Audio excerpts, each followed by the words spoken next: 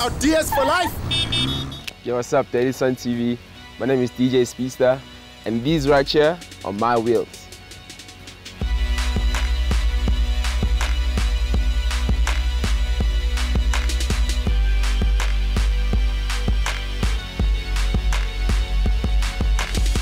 Over here we've got my green mamba, so I call it. It's a Mini Cooper, just a Mini Cooper, not a S. So I just, yeah, I just put some new wheels on just to give it a different look, a bit, a bit more of a mean look, because it looked a bit of like a, like a girl's car, you know. So guys used to laugh at me like, ah, you driving a girl's car. So I was like, oh, okay, you'll see. I'm coming, I'm coming.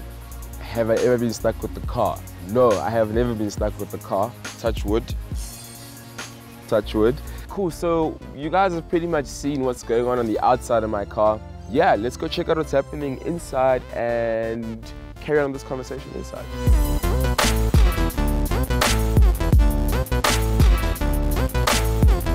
So, basically, I take my car for regular washes, normally on a Monday, because I got soccer on the Mondays. As, my, as you guys might know, like a lot of DJs, Mondays are like our days off. So we do everything we need to do. Well, we do everything normal people do on weekends.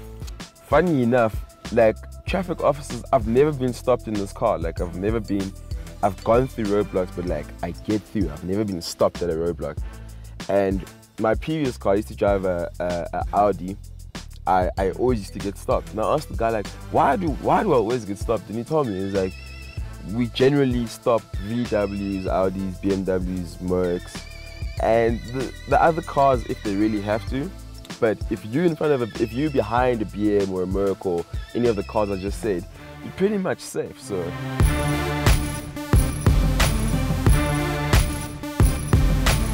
At Daily Sun TV, it's been good. Thanks for having me. Please don't follow me on the roads. I'll see you guys later. Peace.